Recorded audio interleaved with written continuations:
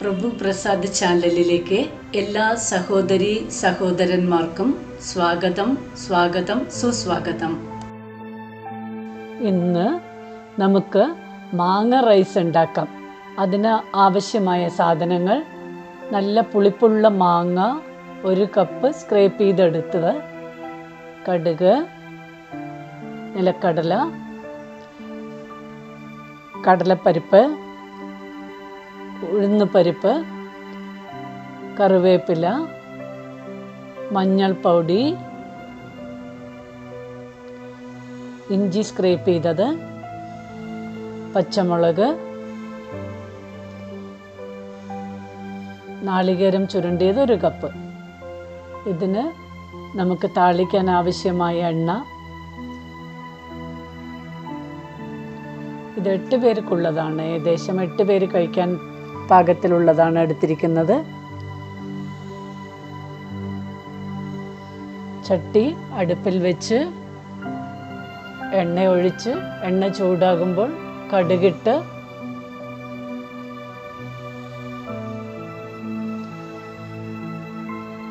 Law ഫ്ലെയിമിലാക്കി അതിൽ നിലക്കടലയും കടലപ്പരിപ്പും ഇടാം.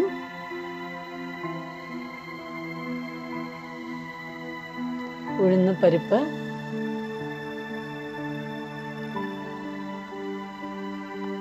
അടുപ്പിന് slow ആക്കി വെച്ച് ചുമന്ന കളർ വരുന്ന വരെ ഇളക്കണം. ഇത് നല്ല പോലെ ഫ്രൈ ആകുമ്പോൾ ഇത് നല്ല പോലെ ഫ്രൈ ആകുമ്പോൾ കറിവേപ്പില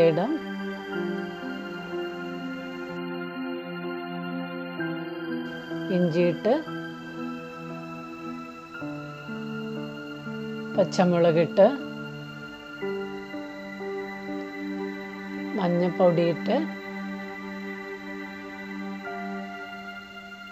നമ്മൾ ചുരണ്ടി വെച്ചിരുന്ന സ്ക്രേപ്പ് ചെയ്ത് വെച്ച മാങ്ങയും ചുരണ്ടി വെച്ച തേങ്ങയും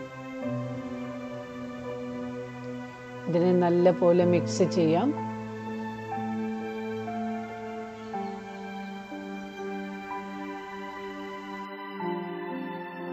ആവശ്യത്തിനുള്ള ഉപ്പിട്ട് ഇളക്കി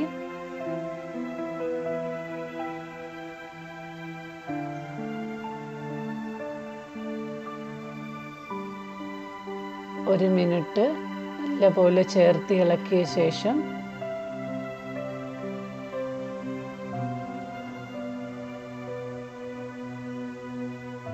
അടുപ്പ് ഓഫ് ചെയ്ത്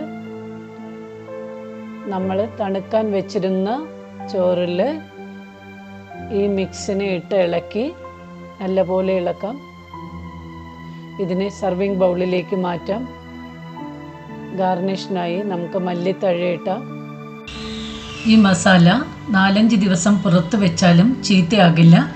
ഫ്രിഡ്ജിലാണെങ്കിൽ പതിനഞ്ച് ദിവസം ഉണ്ടാകും. വളരെ സിമ്പിളായ ടേസ്റ്റിയുള്ള മാംഗോ റൈസ് റെഡി